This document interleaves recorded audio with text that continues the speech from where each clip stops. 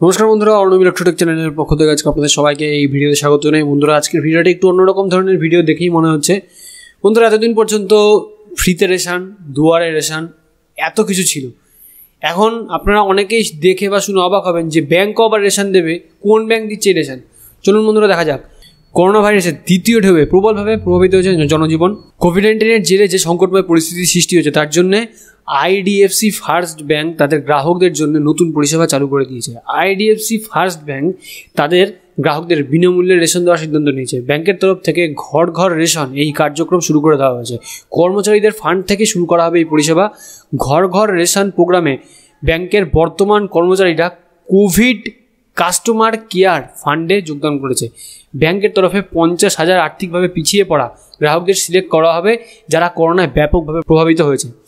এবার এই গ্রাহকদের রেশন কিট পৌঁছে দেওয়া হবে। রেশন কিটে কী কী থাকবে? দশ কিলো চাল অথবা আটা থাকবে, দুই কিলো ডাল থাকবে, এক কিলো চিনি থাকবে, লবণ থাকবে, এক কিলো খাওয়ার তেল থাকবে, মশলার পাঁচ পাঁচ ধরনের প্যাকেট থাকবে, চা, বিস্কুট ইত্যাদি এগুলো থাকবে। এর মাধ্যমে একটা পরিবারের প্রায় এক মাসের দরকারের যা যা জিনিস সেগুলো সেখানে দেওয়া থাকবে। ব্যাংকের তরফ থেকে যে রেশন কিট দেওয়া হচ্ছে, সেটা নেওয়ার জন্য নিকটবর্তী ব্যাংকের শাখায় গিয়ে যোগাযোগ করতে হবে। গ্রামীণ অঞ্চলে কর্মচারীরা বাড়ি বাড়ি গিয়ে এই রেশন কিট বিতরণ করে দিয়ে আসবে।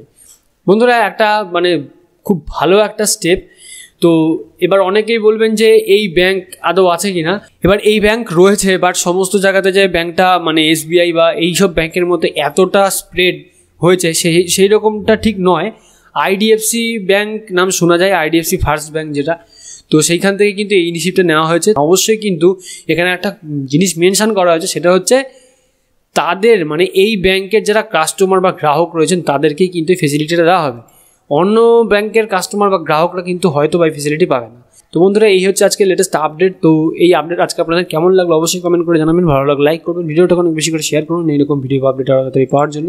চ্যানেলটাকে যারা এখনও সাবস্ক্রাইব করেননি, অবশ্যই চ্যানেলটাকে সাবস্ক্রাইব করবেন। আর অলরেডি যারা সাবস্ক্রাইব করেছেন, তাদেরকে অসংখ্য ধন্যবাদ। তো বন্ধুরা ভিডিওটার সাথে শেষ পর্যন্ত থাকার জন্য সবাইকে ধন্যবাদ জানাই ভালো থাকবেন, সুস্থ থাকবেন। বাই